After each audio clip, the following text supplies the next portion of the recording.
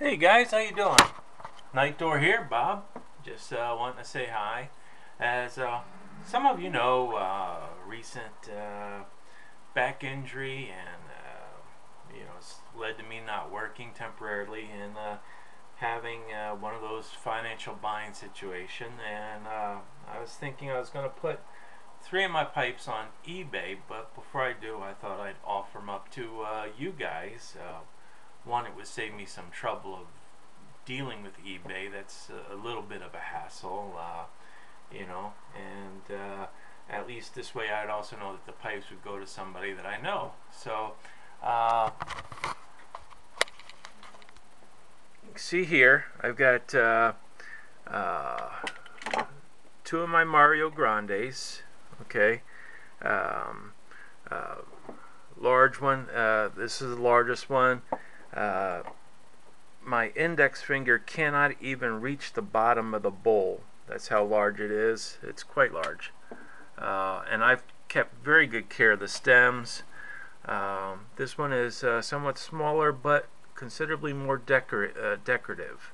Uh, also Mario Grandi. Um,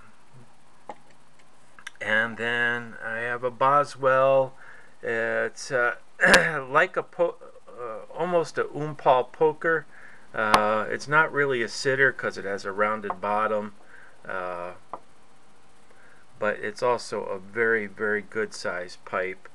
Uh, again, I've taken very good care of the stems. Uh, you're not going to find any teeth marks or anything like that on any of these.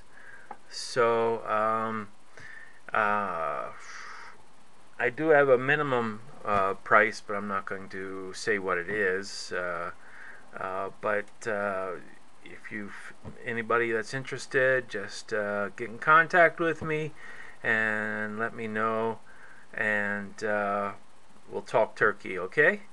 So um, there you have it. That's it for for now. And hey, you guys all have a good night. Okay? And I'll talk to you later.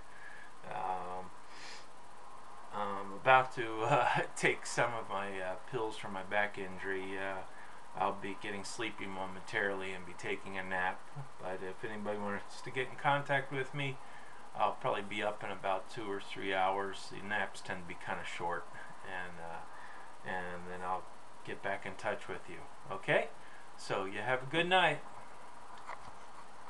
And uh, hey, like I said, if nobody gets in touch with me, I'm going to sell these on eBay anyway. I just personally, I don't want to hassle with eBay. I don't like messing around with eBay. It's kind of a hassle.